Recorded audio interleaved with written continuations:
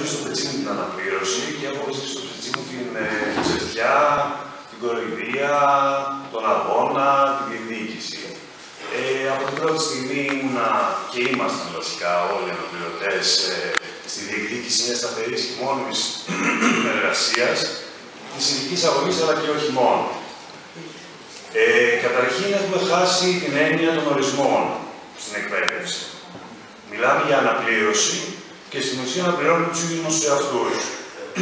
Αυτό είναι κάτι το οποίο, σαν θεσμός, θα μπορούσε ίσως να νοηθεί ως αποδεκτό όταν κάποιος λείπει γιατί έχει μητρική, έχει τη γονεϊκή άδεια για παράδειγμα, ή γιατί είναι άρρωστος και θα πρέπει για τρεις μήνες να λείψει από το σχολείο. Όταν όμως εγώ αναπληρώνω για 13 χρόνια μία θέση, δεν χάνει ακριβώς αυτή την έννοια. Ε, ξεκίνησα να δουλεύω το 2006 και ήμουν σε μια αθρώα, έτσι, σε μια εποχή όπου υπήρχαν διορισμοί με βάση την προπηρεσία μετά από όλους τους αγώνες ενάντια στο ΑΣΕΠ, ας πούμε, και πολλοί συνάδελφοι, δάσκαλοι που σπουδάσαμε μαζί μπήκαν τους δύο-τρεις μήνες και ξαφνικά, εμείς βέβαια δεν είχαμε κλάδο, δεν θα μιλήσω τόσο για την ειδική αγωγή, αλλά γενικά, και ξαφνικά υπάρχει ένα μια μπάρα το 2009 όπου σου λέει ότι τώρα τελείωσε. Ούτε το 1 πέμπτο το οποίο προέβλεπε το μνημόνιο, δηλαδή για κάθε πέντε αποχωρήσεις μια πρόσληψη δεν έγινε. Ε, και φυσικά αυτό που άλλαξε είναι ότι το οποίο είναι σημαντικό να το δούμε, ότι πλέον πάψαμε να είμαστε τακτικού προπολογισμού αναπληρωτές. Είμαστε όλοι έσπα. Είμαστε όλοι ελεγχόμενοι από την Ευρωπαϊκή Ένωση και κατά το δικό της προσλαμβάνει, απολύει, διορίζει ή τέλος πάντων ελέγχει την κατάσταση. Ε, η αναπλήρωση αυτή τη στιγμή, δηλαδή μιλάμε για άτομα τα οποία έχουν μέχρι και 18 χρόνια, έτσι και 20 χρόνια πολύ μερικοί. Ε, τώρα, η πραγματικότητα σε αριθμούς την είπε πριν ε, ο Γιάννης επιγραμματικά, δεν θα προσθέσω κάτι άλλο σε αυτό. Αυτό που θέλω μόνο να πω είναι ότι αυτά τα ποσοστά, το 20% στην, στην πρωτοβάθμια και το 10%, 15% στη θεροβάθμια, είναι πολύ πιο αυξημένο σε ακριτικές περιοχές που έχω δουλέψει, ας πούμε στην Κέρκυρα, ε, δεν ξέρω εγώ ποιο μπορεί να είναι το ποσοστό, δεν υπάρχουν στοιχεία. Και φυσικά σε νέες δομές όπως είναι η ειδική αγωγή, όπου βλέπουμε στη Δυτική Θεσσαλονίκη, για παράδειγμα, σχολεία τα οποία λειτουργούν κατά βάση αναπληρωτέ. Α πούμε στο ειδικό Αγίου Αθανασίου, ε, μόνο η διευθύντρια, και αν κάνω λάθος, διόρθωσε ένα Νίκο, μόνο η διευθύντρια είναι μόνιμη. Ναι. Απλά εκεί δεν είναι μόνο η διευθύντρια ορισμένη, αυτό θέλω να πω. Σε όλα τα άλλα επίσης υπάρχει ε, πλειοψηφία. Ε, τώρα, η εργασιακή σχέση που αναπτύσσεται και που έχει αναπτυχθεί ε, είναι πολύ καλά βαλμένη για να καταλάβουμε ότι η μονιμότητα δεν μας ανήκει. Δηλαδή, εμείς οι νέοι εκπαιδευτικοί ε, προσπαθούν με νύχια και με δόντια να μας δώσουν να καταλάβουμε ότι τίποτα δεν είναι σταθερό, τίποτα δεν είναι μόνιμο, πάντα θα πρέπει να προσπαθείς και πάντα θα πρέπει να νιώθεις ανασφάλεια γιατί μπορεί να απολυθείς, γιατί μπορεί να αλλάξεις θέση, γιατί δεν ξέρεις τι μπορεί να αλλάξει και εσύ θα πρέπει με κάποιον τρόπο να προσαρμόζεσαι σε όλη αυτή τη συνθήκη. Ε, υπάρχει απόλυτη αποσύνδεση του πτυχίου με την εργασία και αυτό το πείραμα έχει γίνει με την απόλυτη επιτυχία στην ειδική αγωγή και το φέρνω σαν παράδειγμα, επειδή το γνωρίζω καλύτερα. Είναι ένας νέος κλάδος όπου μπορείς να γίνεις σχεδόν παιδαγωγός από διδασκαλία, όπως είπαν πολύ σωστά παλιά, έτσι, πριν βγουν τα πρώτα πανεπιστήμια. Μπορείς να γίνεις στο πανεπιστήμιο, μπορείς να γίνεις από μεταπτυχιακό, μπορείς να γίνεις από σεμινάριο, μπορείς να γίνεις επειδή δουλεύεις κάποια χρόνια στην ειδική αγωγή, από αναπηρία. επειδή είσαι γονέας ε, παιδιού με αναπηρία. Τέλος πάντων, θέλω, θέλω να πω ότι υπάρχει. Δεν λέω ότι κάποια είναι λάθος, κάποια είναι σωστά. Απλά λέω ότι υπάρχει απόλυτη αποσύνδεση του πτυχίου, του βασικού πτυχίου με την εργασία. Ε, και φυσικά να προσθέσω ότι αυτό το οποίο λέγαμε και πριν με τη Μάτα, ότι υπάρχουν μέσα στα ίδια μας τα σχολεία άνθρωποι ανασφάλιστοι, οι οποίοι καλύπτουν την παράλληλη στήριξη, την ιδιωτική παράλληλη στήριξη και είναι ανασφάλιστοι. Και εμείς ως κλάδος δεν λέμε τίποτα για αυτούς και είναι το παιδί της παράλληλης, το παιδί του το πληρώνει ο γονέας. Δεν ξέρουμε πόσο το πληρώνει ο γονέας. Μπορεί να δίνει 200 ευρώ το μήνα, ας πούμε, δεν μας νοιάζει. Δεν έχει ασφάλεια, δεν μας νοιάζει. Και εμείς δεχόμαστε η πρωτοβάθμια να δίνει άδεια σε αυτά. Με την έννοια του ότι αυτό δεν καλύπτει την ένταξη, αυτό καλύπτει μία ανάγκη. Αλλά η υποχρέωση του κράτους δεν είναι του γονέα. Τέλος πάντων, έχει πολλέ προεκτάσει αυτό. Απλά θέλω να πω για τον κατακαιρματισμό, ας πούμε, και το τι υπάρχει. Τώρα πηγαίνοντα στην πραγματικότητα ενός αναπληρωτή, δηλαδή στη ζωή του, φυσικά γνωρίζετε όλοι τις συχνές αλλαγές. Ε, προσωπικά βρίσκομαι σε πλεονεκτική θέση, είμαι δηλαδή στην, στο ταβάνι των αναπληρωτών και μπορώ να διαλέξω τον νομό στον οποίο θα δουλέψω. Αλλά υπάρχουν χιλιάδες, από τους 30.000 μπορεί να είναι 25.000, οι οποίοι δεν ξέρουν πού θα βρεθούν στην κυριολεξία. Κάθε χρόνο παίρνουν τα δικά για να μπορέσουν να καλύψουν τα πρώτα νίκια, να μπορέσουν να πάνε στον τόπο τον οποίο θα πρέπει να εργαστούν. Ε, δεν ξέρουν σε ποιο σχολείο φυσικά θα είναι, δεν μπορούν να προγραμματίσουν την επόμενη σχολική χρονιά, δεν ξέρουν δηλαδή σε ποια τάξη θα έχουν, τι λοιπόν να διαβάσουν, ας πούμε, τι ε, το πρόγραμμα να κάνουν κλπ.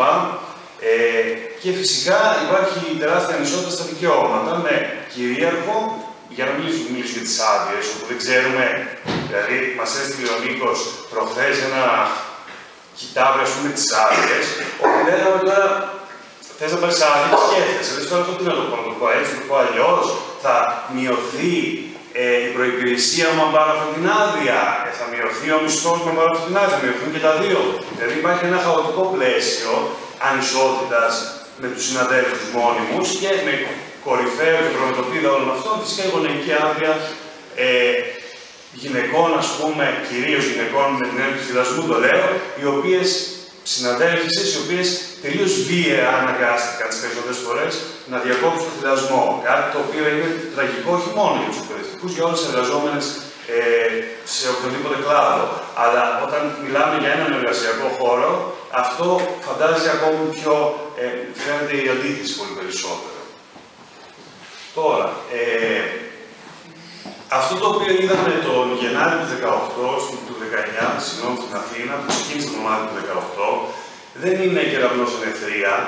Ε, οι αναπληρωτές είναι ένα καζάνι που βράζει, αλλά το ζήτημα είναι, ε, και, φυσικά όλο αυτό δημιούργησε μια τρομερή δυναμική, δημιούργησε μια τρομερή αυτοπεποίθηση, δημιούργησε ε, αισθήματα ότι μπορούμε να διεκδικήσουμε.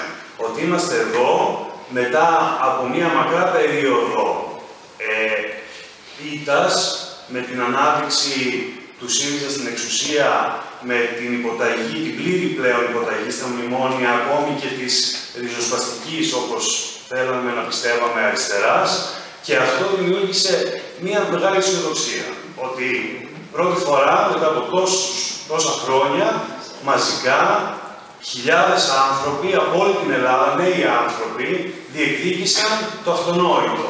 Να μην αναπληρώνουν σε αυτούς τους, αλλά να έχουν μια σταθερή θέση εργασίας. Το ένα, το ένα πολύ θετικό είναι αυτό.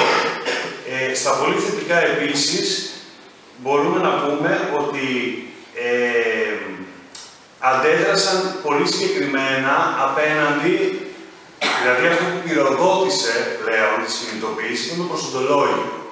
Ήταν αυτό για το οποίο όλοι, είτε είναι αναπληρωτές είτε είναι μόνιμοι, θα πρέπει να νοιαστούν, γιατί αργά ή γρήγορα θα βρεθούν και οι ίδιοι στη θέση της αξιολόγησης και θα βρεθούν και οι ίδιοι στη θέση να μαζεύουν προσόντα και πτυχία. Ε, και πραγματικά και σε προσωπικό επίπεδο, και εμένα μου έκανε εντύπωση το πόσο ξεκάθαρα, ακόμη και άτομα τα οποία είχαν προσόντα, είπαν όχι. Δεν θέλουμε αυτά να μετράμε. Θέλουμε βασικό πτυχίο και προϋπηρεσία. Και φυσικά θα πρέπει να τονίσουμε το, το πόσο ταξικό, την ταξικότητα αυτών των προσόντων, γιατί αν αφήσουμε τον κατάλογο των προσόντων των οποίων χρειάζονται, μπορούμε να φτάσουμε και τα 15.000, ας πούμε. Μπορεί και παραπάνω.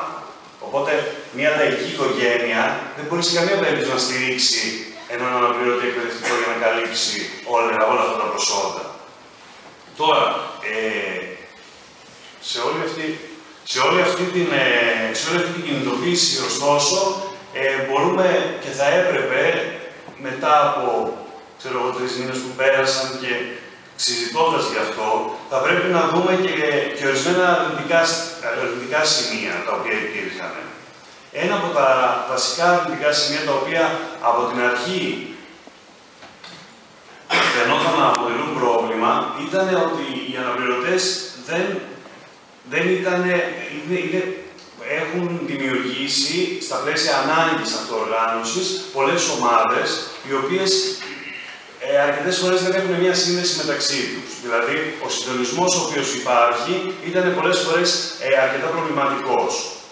Ε, αυτό βέβαια ε, συμβαίνει, ένας από τους λόγους για τους οποίους μπορεί να συμβαίνει, είναι γιατί αλλάζουν τόπο, γιατί συνεχώς βρίσκονται σε διαφορετικά σχολεία, σε διαφορετικούς συλλόγους και δεν μπορούν να κάνουν σύνδεση ούτε καν με τους τοπικούς συνδικαλιστικούς επίσημους φορείς. Ε, ακόμη και στην ίδια της Θεσσαλονίκης να δουλεύει κάποιος, άμα είναι τη μια καμιά ησυχία, την άλλη στο Λαγκαδά, την άλλη, ξέρω εγώ, στην Καλαμαριά, αλλάζει συλλόγους και μέχρι να καταλάβει ε, ποιος είναι ο πρόεδρος, ποιος είναι ο γραμματέας. Εάν δεν ασχολείται, έχει φύγει, έχει αλλάξει χρονιά και έχει πάει σε άλλο σύλλογο. Οπότε αυτό το πράγμα δεν δημιουργεί συνθήκες, ε, ε, όχι φιλικές, αλλά συνθήκες ε, γνωριμίας του ενό με τον άλλο. Ε, Επίσης, ε, κάτι ε, σε αυτό μπορεί να προσθεθεί το ότι οι αναπληρωτές, ε, βιώνοντας αυτή την δυσκολία τόσα χρόνια, πολλές φορές ε, δεν μπορούν να δουν και τα άλλα προβλήματα του κλάδου. Δηλαδή, πολλές φορές δεν βλέπουν την ενότητα με τους μόνιμους, ότι το μόνο δεν είναι το να μπορέσουμε να κατακτήσουμε ας πούμε, έναν διορισμό, αλλά είναι χιλιάδες άλλα προβλήματα, όχι χιλιάδες, αλλά δεκάδες προβλήματα, βασικά αιτήματα ε, του κλάδου, τα οποία πρέπει να υλοποιηθούν. Είτε το χιλιάδες, για παράδειγμα, ο αριθμός του μαθητών στην τάξη κλπ. Ε, αυτή όμως η επισφαλής θέση στην οποία βρίσκονται, αυτή η συνθήκη εργασίας δεν τους επιτρέπει να δουν και άλλα προβλήματα εκτός από το δικό τους. Ε, και αυτό το οποίο νομίζω ότι θα πρέπει να δούμε εν κατακλείδη σε αυτό το κίνημα είναι ότι δυστυχώς δεν κατάφερε τους στόχους του. Δηλαδή το προσδολόγιο δεν πήγε πίσω. Το πολύ σημαντικό είναι ότι πιέστηκε η κυβέρνηση να βγάλει άμεσα διορισμούς. Ήξερε, και αυτό είναι το πολύ σημαντικό, ότι αν δεν γίνουν διορισμοί, αυτό το πράγμα θα κλιμακωθεί και θα συνεχίσει. Ωστόσο, μπροστά στους διορισμούς έφερε ένα προσοντολόγιο και το οποίο δεν το καταργήσαμε. Δηλαδή αυτή τη στιγμή, σε ένα μήνα, ξέρω, σε μια εβδομάδα, σε μια εβδομάδα, δεν ξέρω πότε θα το ανακοινώσουμε, αν θα το ανακοινώσουμε, δεν ξέρω αν θα γίνουν, δεν ξέρω τι θα κάνουν. Αλλά το θέμα είναι ότι εμείς της ειδικής αγωγής οι 4.500 διορισμοί που προκηρύσσουν θα γίνουν προσώπων. Ξεκάθαρα.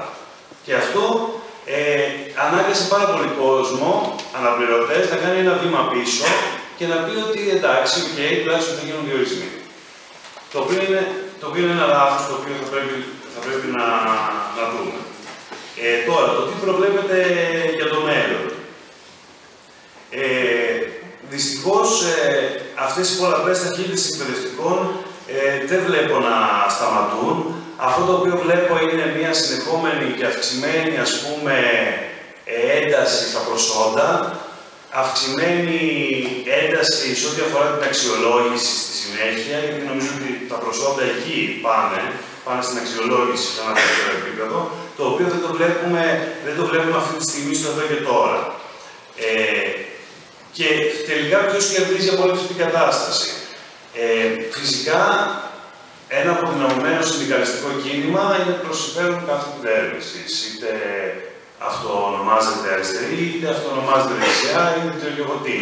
Είναι πολύ, πολύ εύκολο μέσα σε μια αποδυναμωμένη έτσι, μάζα, βάση ανθρώπων, οι οποίοι δεν συνειδητοποιούν οι αναπληρωτές ότι το συμφέρον τους βρίσκεται στην ενότητα με τους μόνιμους, ότι αυτό το πράγμα ε, δημιουργεί τις συνθήκες να ασκούν πολιτική κατά το δοκούν και να τους κάνουν ε, ό,τι θέλουν. Ε, και επίσης ε, μέσα από όλο αυτό το, με όλη αυτή τη χρηματοδότηση μέσω της Ευρωπαϊκής Ένωσης και των ΕΣΠΑ, ε, φαίνεται ότι πλέον η πολιτική στην εκπαίδευση δεν ασκείται από το ίδιο το κράτος, γιατί για παράδειγμα, εάν σήμερα λέγαμε ότι μια δομή στην ειδική αγωγή θα έπρεπε να είναι διαφορετική, ή θα έπρεπε να εμπλουτίσουμε τα σχολεία μας με καλλιτεχνικούς, ή θα έπρεπε να πάρουμε μια άλλη στροφή, αυτό δεν προβλέπεται από αναπληρωτές ΕΣΠΑ, οπότε πώς θα το υλοποιήσω; Θέλω να πω ότι είμαστε δέσμοι μιας συνθήκης η οποία νομίζουμε ότι είναι και προς όφελός μας. Προς όφελός μας, αλλά προ όφελό μας σε καμία περίπτωση δεν είναι. Ε, αυτό είναι το